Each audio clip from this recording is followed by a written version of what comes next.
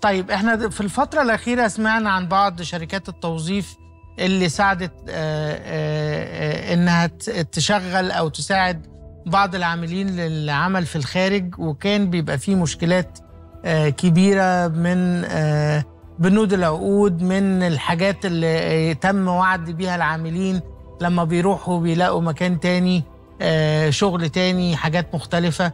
ويمكن دايما بفتكر المشهد بتاع أستاذ محمد صبحي في مسرحية في تمثيلية سنبل بعد مليون لما كان خد الناس ووداهم آه، سينا وكانوا فاكرين إن هم في السعودية يعني و وكان كان مشهد كوميدي ساعتها. ولكن الحقيقة بنشوف الكلام ده دلوقتي على أرض الواقع يعني.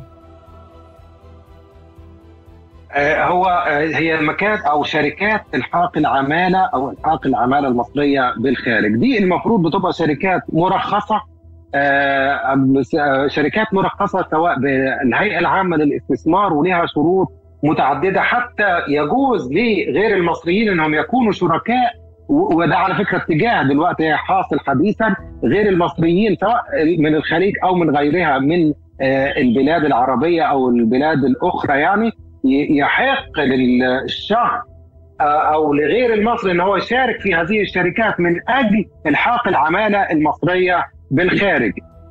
في دول الخليج خاصة يعني بنشوف العلاقة بين رب العمل والعامل علاقة منضبطة إلى حد كبير جدا.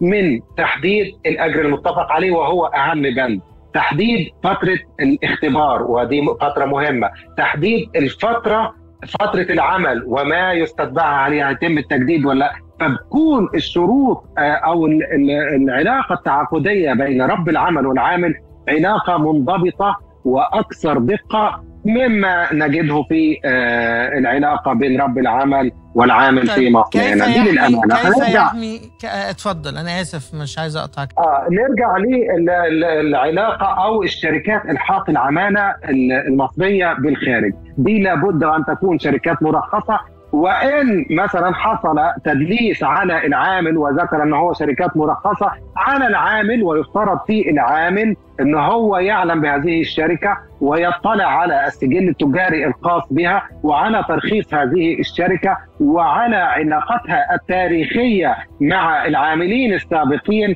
وعلاقتها خارج مصر في هذا الموضوع. يعني ده منبر حضرتك برضو يعتبر من ال- المنابر المهمة في إن إحنا نوضح للعامل إن هو يجب عليه أن يلاحظ هذه الإجراءات ويتبع هذا الأسلوب عند آه، عند التعاقد مع هذه الشركات. طبعا ده أفضل وضع يا دكتور عصام. بس هو المشكلة أنت بتبقى بتتعامل مع حد آه، ما عندوش دخل خالص وما عندوش شغل موجود هنا فما بيصدق يقول لك لا بص أنا هروح هناك وهتصرف.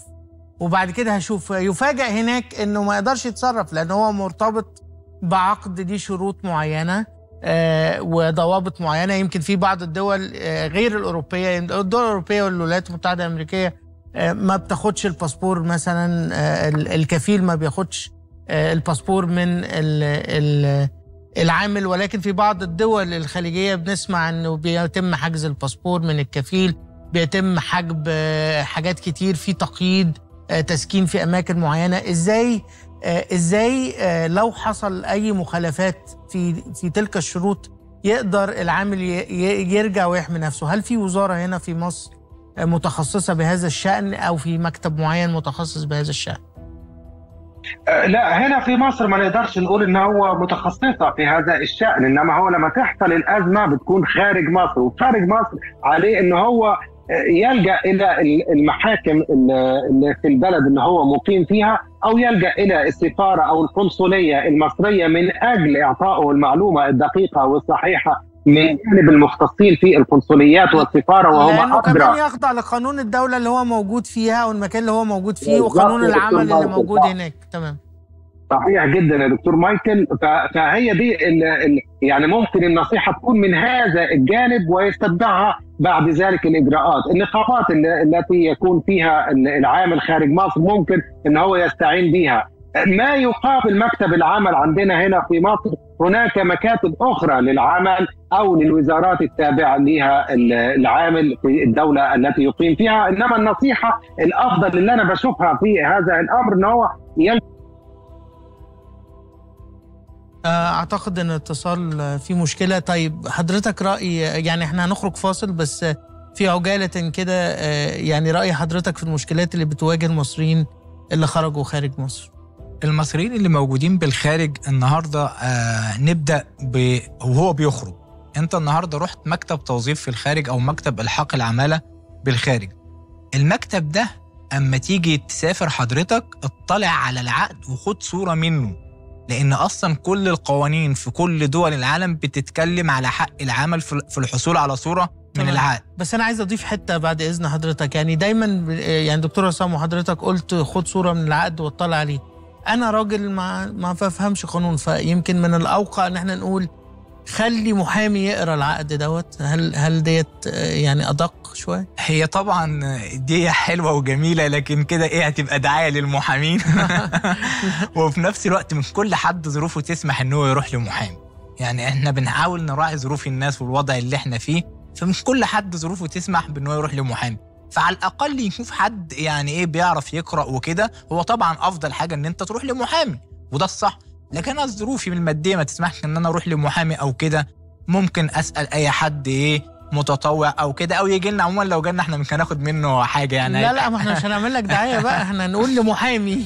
آه عموما هو بي لو لو إمكانياته هتسمح بإن هو يروح لمحامي ده آه. طبعا يفضل. إمكانياته ما تسمح لا المفروض يشوف أي حد كويس يثق فيه وكده يخليه يطلع على العقد وعلى بنود العقد وياخد صورة من العقد ده. لأن زي ما حضرتك ما قلت النهارده في بعض المكاتب هنا في مصر بتقول لك حاجات تروح هناك إيه، تروح هناك تلاقي حاجة حاجة, خالص. مختلفة واللي هناك ملوش ذنب. لا هو اللي هنا بيعمل دعايه عشان يسوق وعشان ياخد منك عمولة كبيرة تمام؟ فبيقول لك عرض كبير واحد. فانت رحت هناك وصرفت فللأسف بتضطر يا إما تكمل يا إما تنزل ويبقى خسرت كل فلوسك. وللأسف مش هتعرف يعني صعب إنك تثبت لأن مكتب التوظيف اللي هنا لما خد منك الفلوس ما عطاك اي اثبات بيها ولا عمل اتفاق بينك وبينه ولا اي حاجة. هو خد منك الفلوس ويصفرك وخلاص على كده. وغالبا خدها نقدي فما فيش حاجة تثبت إنك حولت له فلوس أو كده.